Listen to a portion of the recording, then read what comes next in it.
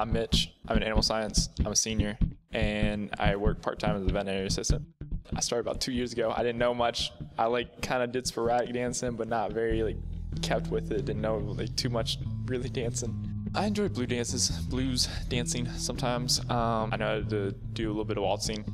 It's also a lot of fun. It's really fun.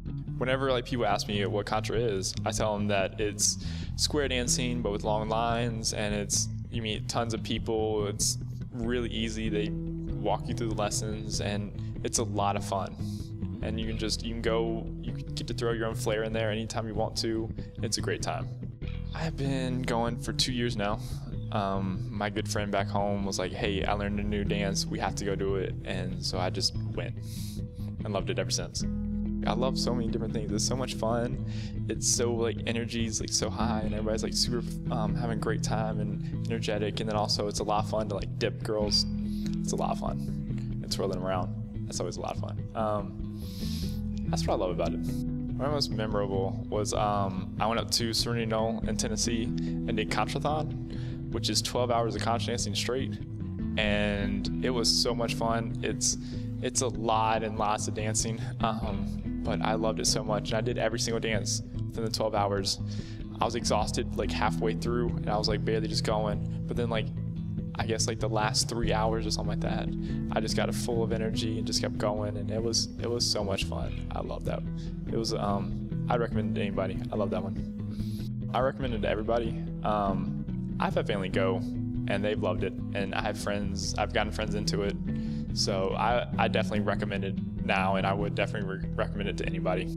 Two tips: bring water, because you're gonna die if you don't. And then I'd recommend bringing like an extra shirt or bringing like a sweat rag or something like that, because you're definitely gonna get sweaty. But the water is necessary. the cat shirt story.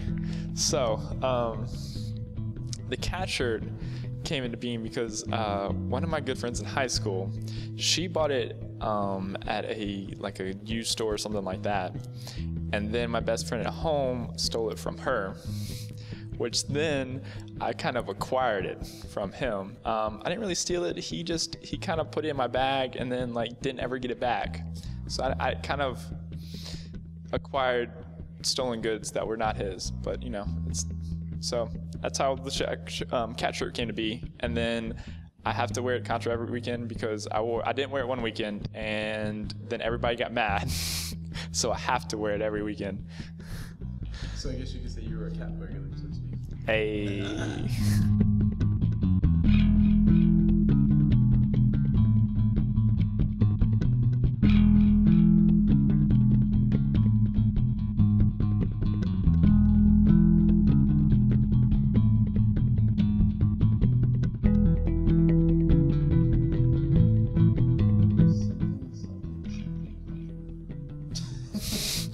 Great story. I know, right? Great reporting right there.